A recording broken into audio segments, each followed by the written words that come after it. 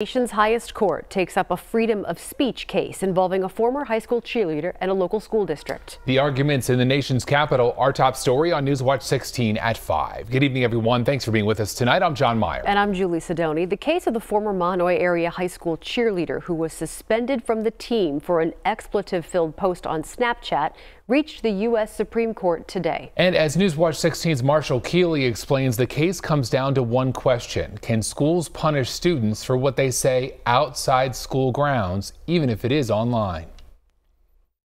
In 2017, then Mahanoy area high school cheerleader Brandi Levy was upset she had not been moved from JV to the varsity squad. She posted on her personal story on Snapchat from a public gas station one weekend with her middle finger up and the caption F school, F softball, F cheer, F everything.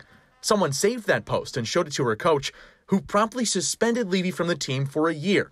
But was that a violation of Levy's First Amendment rights? The issue has now reached the nation's highest court. The Supreme Court's decision in Tinker versus Des Moines said students' rights were limited on school grounds to help schools prevent conflicts.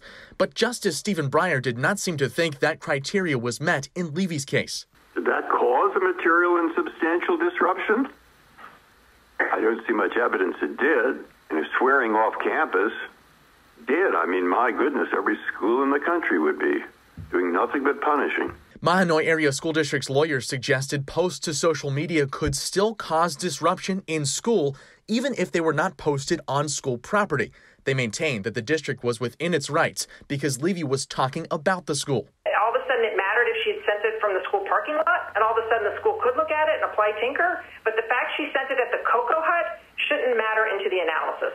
But Levy's representation from the ACLU challenged that notion, saying the district only has authority in school supervised settings. In school, you can apply Tinker. Out of school, you can't.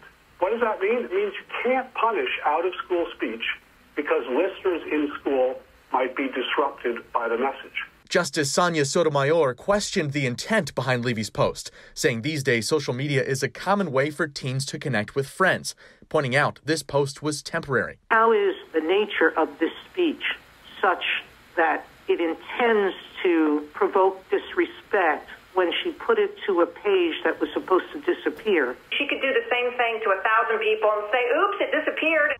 Both sides agree harassment, bullying, and organized cheating outside of school should not be protected, but they differ on where to draw the line. You can choose to either tighten Tinker or you can say, well, we're going to assume Tinker's out of control on campus, but we will leave open season on schools and complete chaos as to what their test allows.